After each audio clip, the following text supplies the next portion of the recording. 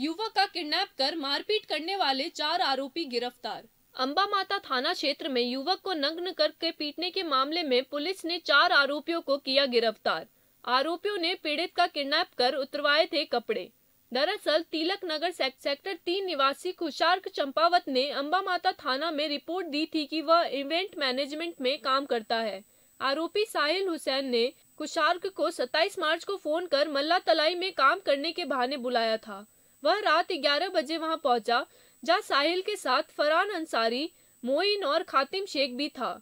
खुशार्क का आरोप है कि आरोपियों ने पहले उसका मोबाइल छीना, फिर जबरन कार में बैठाकर 80 फीट रोड के पिछले सुनसान जगह पर लेकर गए।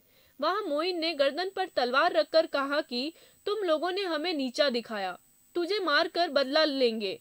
फरहान ने पिस्तौल दिखाकर धमकाया और कपड़े खोलने को मजबूर किया। फिर मारपीट की और वीडियो भी बनाया। शोर मचाने पर कुछ लोग वहाँ पहुँचे, जिन्हें देखकर आरोपी फरार हो गए। खुशार का आरोप है कि उसकी फरहान और साहिल से कभी कोई बात नहीं हुई।